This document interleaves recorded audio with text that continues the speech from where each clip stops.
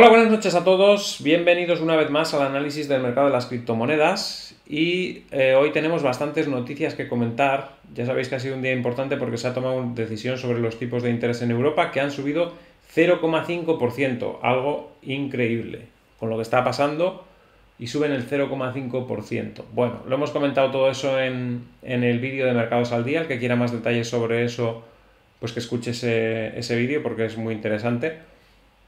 Pero ha tomado una decisión muy contradictoria el Banco Central Europeo, porque primero sube los tipos de interés 0,5, pero luego dice que si el sector financiero necesita financiación, va a hacer todo lo que está en su mano para financiarlo, es decir, va a imprimir todo el dinero que haga falta para mantener a flote el sistema financiero, lo cual es contrario a la subida de tipos de interés.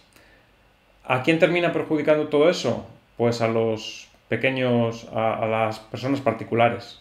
¿Por qué? Porque si suben los tipos de interés 0,5%, las hipotecas van a subir y las personas particulares no les va a regalar dinero al Banco Central Europeo como sí que va a hacer con los bancos. A los bancos les va a imprimir todo el dinero que necesiten, pero a las personas que tienen hipotecas y que les va a subir el Euribor otra vez, pues esas personas son las más perjudicadas. Y el resto, que no tenemos hipoteca, nos perjudican con la inflación. ¿Por qué? Porque imprimir dinero es inflación, aunque por otro lado suban los tipos de interés. No están haciendo nada subiendo los tipos de interés contra la inflación si por otro lado están imprimiendo dinero. Con lo cual es una medida absurda y que solo es de cara a la, galería, yo creo, para hacer ver como que oh, no, somos independientes, da igual lo que pase, aunque esté mal todo, nosotros vamos a luchar contra la inflación. Bueno, no se lo creen ni ellos, han hecho ahí el teatrillo, pero bueno, no voy a comentar nada más porque no merece mucho la pena. Los mercados, desde luego, no se lo han creído. Las bolsas han tenido una jornada muy alcista, han roto de nuevo resistencias. El SP500 se ha situado de nuevo por encima de la línea de tendencia bajista, lo cual es muy significativo, envolviendo además todas las cuatro velas anteriores con el cierre y proyectándose hacia la zona de los 4120. El Dow Jones lo mismo, recuperando también claramente, envolviendo las velas anteriores y cerrando en la parte alta de la jornada. Y el DAX alemán también recuperando todo lo perdido ayer y dispuesto otra vez a ir hacia los máximos, a atacar esos máximos. Con lo cual, ya veis que le ha, le ha dado igual al mercado que suban los tipos de interés 0,5% en las circunstancias que estamos encima. ¿Por qué? Pues porque ha visto por detrás que la máquina se pone otra vez a funcionar. La máquina de imprimir billetes. Y eso es inflación y eso es eh, dinero para los mercados. Por eso los mercados han reaccionado al alza, justo lo contrario de lo que pretendían seguramente al tomar esa decisión de, subir 0,5% los tipos de interés. Em, vamos con otras noticias que tenemos para comentar. Bueno, teníamos em, esta de Cointelegraph, lo, vamos a comentar la primera, esta que nos dice que las criptomonedas actuaron como refugio seguro en medio de la corrida bancaria de SVB y Signature, dice Katie Wood. Katie Wood dijo que la actual crisis bancaria es un fracaso total de la política de la Reserva Federal, evidentemente, porque es la que nos ha llevado a esta situación y es la que no sabe sacarnos de esta situación y la que está haciendo cosas que saben que no van a solucionar el problema, pero sin embargo nos van a crear problemas adicionales y lo sabían, ¿no? Y podría haberse evitado con las soluciones descentralizadas de las criptomonedas, nos dice Katie Wood. En medio de todo el caos que rodea a las múltiples quiebras bancarias en Estados Unidos, Katie Wood, CEO de la firma de gestión de activos ARK Invest, afirmó que las criptomonedas actúan como refugio seguro en medio de la actual crisis bancaria en Estados Unidos. Achacó la reciente caída de los bancos como Silicon Valley Bank y Signature y otros al fracaso de la política de la Reserva Federal. Los precios de las criptomonedas se dispararon en dos dígitos, Bitcoin y Ethereum tocaron nuevos máximos multimensuales en medio de la crisis bancaria estadounidense. En un hilo de Twitter el 16 de marzo, Wood criticó la incapacidad de la Reserva Federal para evitar las corridas bancarias a pesar de todos los indicios que existían. O sea, existían indicios de que esto iba a pasar. Nosotros también venimos avisando de que no se pueden subir los tipos de interés así como así hasta donde les dé la gana porque lo que crean es, es precisamente esto. O sea, que indicios seguro que había, vamos dijo que estaba desconcertada de que los bancos y los reguladores no pudieran convencer a la Fed de que se avecinaba un desastre. O sea, los bancos ya sabían que, les estaban metiendo presión, Los reguladores también ya sabían que, que están bajo presión y sin embargo la Fed parece como que lo ha ignorado y no sé si lo seguirá ignorando porque el Banco Central Europeo desde luego su labor no la está haciendo. Ya lo hemos visto hoy, ¿no? Argumentó que la política de la Reserva Federal era la, principal culpable de la actual crisis bancaria debido a la sequía de financiación de capital riesgo. Y aquí nos dice, las criptomonedas no forzaron a la quiebra de SVB y Signature. Pienso que la política de la Reserva Federal fue la principal culpable, debido a, debido a la sequía de financiación de capital riesgo y a los mayores rendimientos de los fondos de mercado monetario, los depósitos abandonaron el sistema bancario estadounidense. Señaló el desajuste entre activos y pasivos que, aunque típico en la mayoría de las circunstancias para los bancos, es decir, los bancos siempre tienen un desajuste entre activos y pasivos, ese es el gran problema de los bancos, era insostenible en el escenario actual. Claro, cuando vienen escenarios negativos es cuando surgen los problemas. Cuando está todo bien y todo el mundo confía, pues aunque hay desequilibrio siempre y no tienen evidentemente ni siquiera un 3 o un 4% de, de sus activos, en realidad, porque todo lo demás es deuda, pero si el, panorama está bien, pues no, no, aparecen problemas, aparecen los problemas cuando hay tensiones, y las tensiones se producen pues, por esta subida de tipo de interés que está teniendo a cabo la Reserva Federal. Los depósitos abandonaron el sistema bancario por primera vez desde la década de 1930, o sea que tampoco, ya veis que no es una cosa para tomarse la broma. La década de los 30 fue después de la crisis de 1929. O sea, después de eso, dice que hasta ahora nunca habían abandonado los depósitos del sistema bancario como ahora. Las ganancias de los bancos en valores eran de solo el 1 o 2% frente a los depósitos que pagaban el 3 y el 5%, lo que finalmente se hizo insostenible. Cuando los depósitos empezaron a abandonar el sistema, como SVB, algunos bancos se vieron obligados a vender títulos mantenidos hasta su vencimiento, reconociendo pérdidas que agotaron sus cuentas de capital. Eh, Good también le recordó a todo el mundo que la crisis actual no fue forzada por las criptomonedas, ya que el ecosistema se encuentra bajo una, fuerte escrutinio desde la caída de FTX, lo que llevó a una severa represión regulatoria. Wood afirmó que los reguladores están utilizando las criptomonedas como chivo expiatorio de sus propios fallos en la supervisión de la banca tradicional. Daros cuenta que ahora mismo le están intentando echar la culpa de todo esto que ha pasado con los bancos a las criptomonedas y la cosa es al revés. Las criptomonedas están en riesgo por culpa de los bancos, no los bancos por culpa de las criptomonedas. Daros cuenta que lo que ha pasado con Circle, por ejemplo, es que tenía depositado dinero en SVB y casi le rompe la paridad del, del USDC por tener dinero en un banco. O sea, es el banco el que ha perjudicado a Circle y a las criptomonedas, en concreto a la criptomoneda mm, USDC. Y son las empresas de criptomonedas que tienen dinero en los bancos las que pueden tener problemas si esos bancos quiebran, no al revés. Y quieren darle la vuelta a la tortilla, le quieren echar las culpas a las criptomonedas. Vemos aquí también, antes de continuar con esto, porque tengo que terminar con esta noticia, pero vemos aquí también en otros titulares que dice que la, Corporación Federal de Seguros de Depósitos de Estados Unidos pidió a los compradores de Signature que detuvieran todo negocio de criptomonedas, revela un informe. Y luego decían estos días que no, que no lo habían, eh, que no lo habían eh, confiscado este banco, digamos, porque estaba relacionado con criptomonedas, ¿no? Y ahora resulta que al que lo compra le piden que no haga negocios con criptomonedas. es clarísimo el ataque, ¿no? A las criptomonedas. Y nos dice, eh, un legislador estadounidense sugiere que la quiebra de Signature estuvo ligada a la inestabilidad de las criptomonedas. ¡Qué mentira! O sea, si quieren hacer ver como que las criptomonedas son las culpables. El culpable es eh, la Reserva Federal, Jerome Powell, que está subiendo los tipos de interés y está poniendo presión sobre los bancos. Ahora resulta que también va a tener culpa las criptomonedas de lo que le pasa a Credit Suisse. Solo porque estos bancos trabajaban con empresas de criptomonedas, ¿qué tendrá que ver? Si las empresas de criptomonedas han sido solventes, no han tenido ningún problema para pagarle a este banco nada de lo que le tengan que pagar. Son clientes nada más. ¿Qué culpa tendrán los clientes de criptomonedas del banco Signature para que Signature fracase? Si es que ha fracasado, porque hay muchas dudas sobre eso. ¿Qué culpa tienen? Las empresas de criptomonedas utilizan el banco y ya está. ¿Qué culpa tiene Circle de tener 3.300 millones depositados en el Silicon Valley Bank? ¿Eso le pone en peligro a Silicon Valley Bank? ¿En, qué cabeza cabe el legislador este? ¿En qué está pensando para decir que la quiebra de Signature estuvo ligada a la inestabilidad de las criptomonedas? Si ese banco no tendría ninguna criptomoneda, tendría depósitos de empresas de criptomonedas. Si, esos, si esas empresas de criptomonedas pierden dinero, ¿qué más le dará a Signature? Que es un banco. Yo si pierdo dinero, ¿qué más le da al banco? Si yo tengo ahí depositado un dinero en el banco y si yo pierdo dinero, el banco no pierde. ¿Qué va a perder el banco? Nada.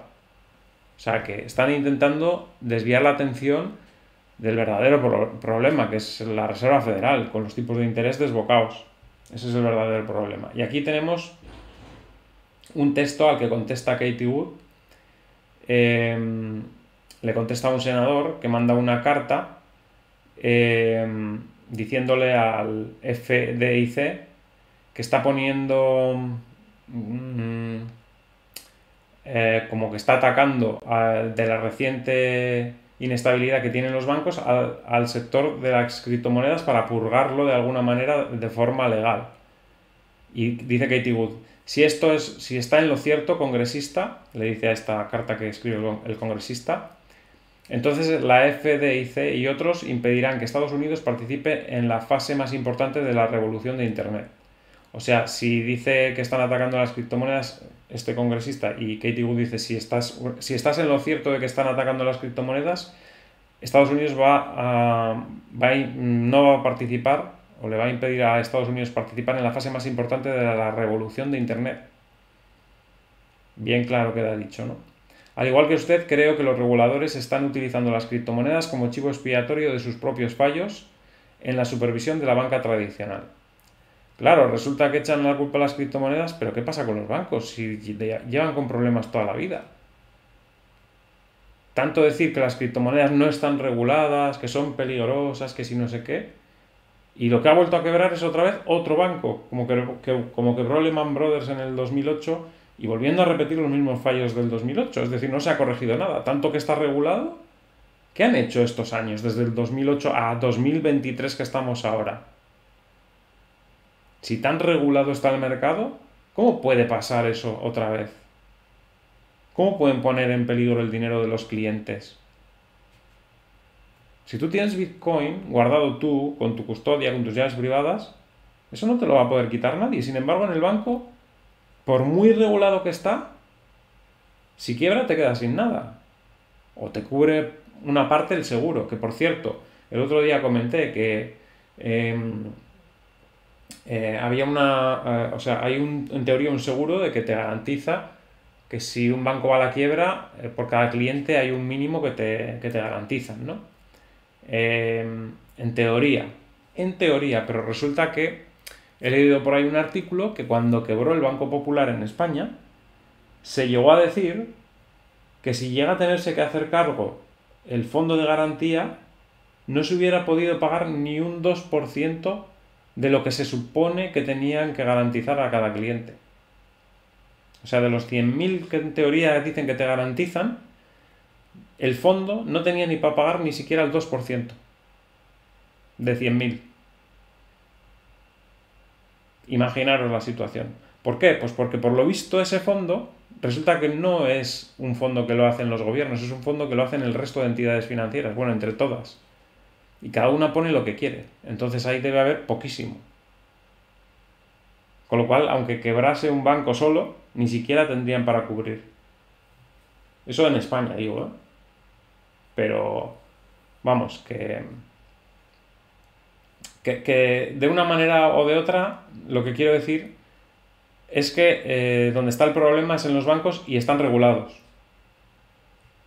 Están regulados y tienen un problema, un problema muy gordo. Y sin embargo están poniendo eh, el punto de vista en las criptomonedas que si tú las tienes, si tú las autocustodias, no tienen ningún problema problema puede llegar si te confías de terceros y que esos terceros evidentemente hagan algo malo como ha pasado con FTX, pero si tú las tienes, no te puede pasar nada. ¿Vale? Entonces, bueno, eso quería destacarlo.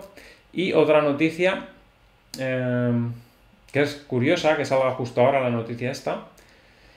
Fidelity Investment ha abierto el comercio de Bitcoin al público durante la actual crisis bancaria. O sea, justo ahora, con la crisis bancaria, y abre, el comercio de Bitcoin. El gigante financiero ahora permitirá a los clientes comerciar con Bitcoin, aunque no podrán retirarlo para su custodia.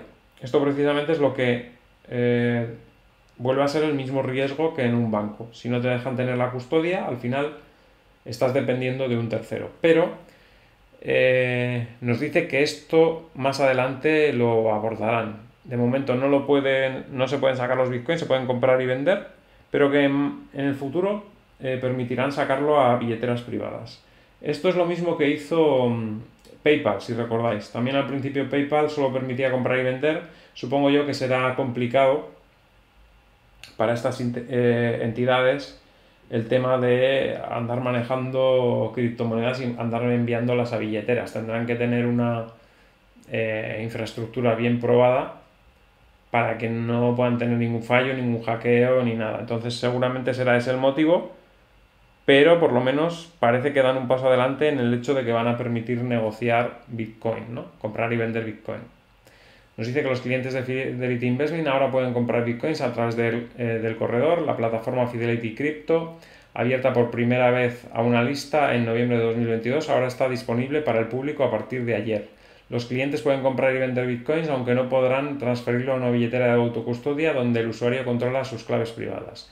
Durante el lanzamiento de la lista de espera, se mencionó que esta capacidad vendría más tarde, o sea que más tarde sí que se va a poder sacar a billeteras privadas. O sea que, bueno, de momento no, pero más tarde sí. Pero no se proporcionó ningún detalle o hoja de ruta más allá de eso. Al operar, a los clientes no se les cobrará una tarifa, sino un diferencial del 1% que Fidelity ha definido como la diferencia entre el precio al que compra o vende criptomonedas en su cuenta Fidelity Crypto y el precio al que Fidelity Digital Assets lleva, eh, llena su pedido. Esta diferencia será visible en el precio de ejecución del cliente. Bueno, eh, cosas, cosas eh, sin importancia, vamos. Un poco el detalle de cómo funcionará, pero bueno. Simplemente era para comentar la noticia para que veáis que sí que hay entidades que apuestan por las criptomonedas y eso llevando un poquito en contra a los, a los reguladores, porque aquí nos dice eh, la inclusión de Fidelity en las criptomonedas no ha estado exenta de críticas, con un grupo de senadores afirmando en una carta a la firma financiera que Fidelity Investment ha optado por expandirse más allá de las finanzas tradicionales y profundizar en el mercado de activos digitales altamente inestable y cada vez más riesgoso. Eso es lo que dicen. Y luego resulta que quiebran los bancos. Es, un, chiste mal contado, pero bueno. Eh, pero eso aparentemente no ha detenido a Fidelity, sin más. A veces eh, hay que tomárselo un poco, un poco con humor porque hay cosas que, que, es que, es que dan gracia, al final son graciosas, ¿no? Estas cosas que pasan. Bueno. Eh, bueno, comentando esas noticias, pues lo dicho, el mercado positivo. Fijaros que si hubiese sido serio lo de los tipos de interés, si hubiese sido eh, un movimiento serio y no, y no dicen que luego van a ayudar, ayudar a los bancos eh, con lo que haga falta, si hubiesen seguido siendo realmente serios y diciendo, no, vamos a ir a por la inflación, no hay nada que hacer, que quiebren todos los bancos que tengan que quebrar, pues las bolsas se hubieran desplomado, evidentemente.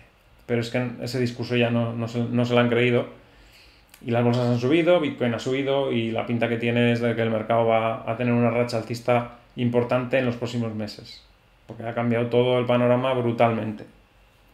Vamos a ver cómo le dan la vuelta a la situación, porque ya digo, esa subida de tipos de interés es absurda, teniendo en cuenta que luego hace por, por detrás otra cosa. A los únicos que perjudica son a las personas de calle, porque la inflación no la van a bajar, aunque hayan subido los tipos de interés, porque van a seguir imprimiendo dinero. Y encima el tipo de interés te está marcando pues eso, las hipotecas más altas, con lo cual los ciudadanos a pagar más, a tener más inflación, son los que realmente están pagando el pato de todo. Pero es así, porque estamos en un sistema pues que, es así, que nos tienen de esa manera atrapados y, bueno, nosotros intentando salir de ese, de ese sistema con Bitcoin, evidentemente. Y bueno, pues eh, Bitcoin, vamos a concretar ya un poquito más sobre Bitcoin. Parece que está superando ligeramente esa zona de resistencia, la vela es envolvente a las anteriores y posiblemente siga avanzando hacia la zona, en principio hacia esa línea roja que podía ser 26.500 o una cosa así. Si es capaz de superar esa línea roja, evidentemente va a salir como un Sputnik hacia arriba, porque es una resistencia tan fuerte que si la rompe, pues eh, la subida va a ser brutal y nos podemos plantar en 28.800 muy rápido, muy rápido. Pero no sé si lo romperá, estamos todavía lejos incluso de esa línea, o sea que ya veremos si, cuando se acerque si tiene la fuerza suficiente como para romperla o vuelve a corregir un poco, ¿no? Eh, no hay mucho más que decir respecto a Bitcoin. En el gráfico semanal ya hemos visto a la mañana que está bastante bien, que la pinta que tiene es de ir hacia la zona de los 31.778 en el medio plazo, pero ya digo que antes de llegar a ese nivel tienen 28.800 una resistencia también interesante. Las altcoins pues siguen de capa caída en general. Eh, este es One Inch, como veis, eh, vuelve a caer. Ha hecho muchísimo volumen, no sé por qué. Habrá hecho ahí alguna operación extraña, ¿no? Pero sigue cayendo, como veis. Eh, AAVE también eh, continúa con el movimiento a la baja. Cardano un 3% abajo también, por debajo, muy por debajo de los 1464 que era el, mínimo anterior. Un descalabro total. Ya lo venimos avisando hace tiempo que no vemos a Cardano muy fuerte. Algorand también con esa tendencia bajista prolongada.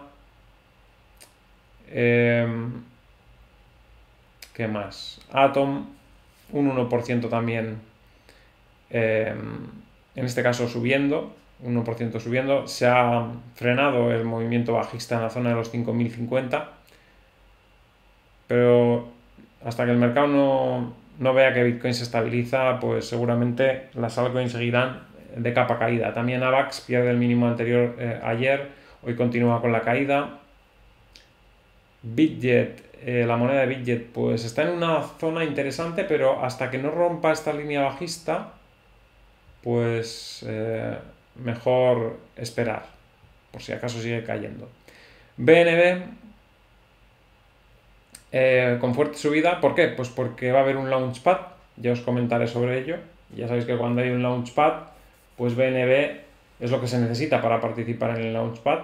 Entonces, bueno, está subiendo y esta línea de tendencia bajista podría ser rota en cualquier momento. ¿Qué más tenemos por aquí?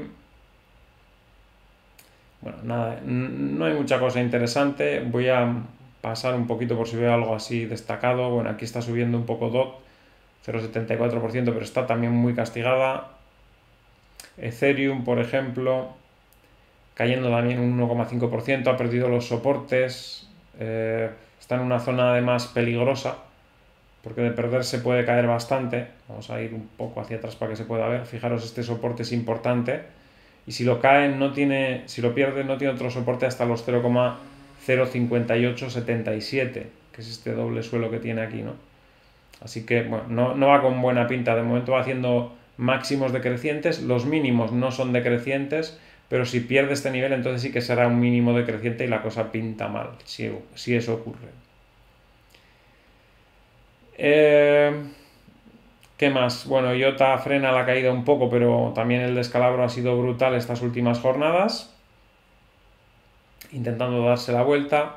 Cava mal también, otra vez eh, bajando, en este caso un 10,74%, cuando parecía que estaba bastante bien en las últimas jornadas vuelve el movimiento bajista. Evidentemente el que el mercado no haya reaccionado no ayuda. Si el mercado no sube, pues al final incluso las que tienen buena pinta terminan por, corregir, como ha sido el caso de, esta moneda, de Cava. MicroStrategy subiendo un 6%, poco a poco parece que va mejorando, debería alcanzar la zona de los 300 por lo menos, para compensar eh, lo que está haciendo Bitcoin porque se ha quedado un poquito atrás con respecto al comportamiento de Bitcoin. Em, bueno, Qtun sigue estando también em, en zona de soporte, en teoría desde ahí debería reaccionar también. Pero bueno, como ya veis, no hay gran cosa destacada. No voy a seguir analizando mucho las altcoins porque no, no merece la pena. hasta que no se estabilice un poquito eh, Bitcoin y veamos que los gráficos empiezan a amenazar con romper líneas bajistas, pues no merece mucho la pena y, hay que quedarse con eso, con, con el cambio que estamos viendo estos días en el mercado. Por cierto, un cambio en la política monetaria que como veis llega cuando ya hemos subido un montón. O sea, no es algo que, que te llegue cuando estamos en los mínimos. Porque mucha gente se pensaba, no, es que hasta que no cambie la política monetaria no va a subir. No, es que cuando cambie la política monetaria ya ha subido una gran parte. De hecho, pues ya fijaros cómo está el precio de Bitcoin con respecto a los mínimos. Ha subido un montón. Esas cosas hay que anticiparlas. Si no las anticipas, mmm, pues al final no, no vas a aprovechar los movimientos del mercado. Porque ya está el movimiento en camino, ¿no? Desde hace bastante tiempo. ¿Y ahora qué? ¿Vas a entrar en 25.000 cuando ha estado en 16.000 y pico, 17.000? Incluso hace muy pocos días en, por debajo de 20.000. ¿Vas a entrar ahora en 25.000? Pues ahora cambia la política monetaria. Cuando ya lleva una subida tremenda, ¿no? Eh, así es como funcionan los mercados. Así que nada, eso es todo por ahora. Espero que os haya gustado el vídeo. Al que le haya gustado, que dé un like, compartid en redes sociales para que el canal pueda seguir creciendo. Si no estáis suscritos, suscribiros y darle a la campanita con todo para que os avise cada vez que hay un vídeo nuevo. Y nos vemos en el siguiente vídeo. Hasta mañana.